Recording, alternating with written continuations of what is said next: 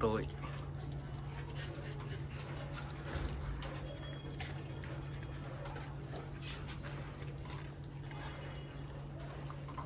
Bị tiêm mũi 2 để về nhà mới nha.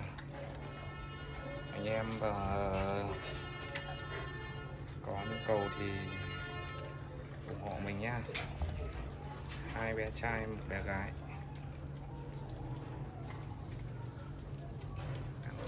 hacían videos.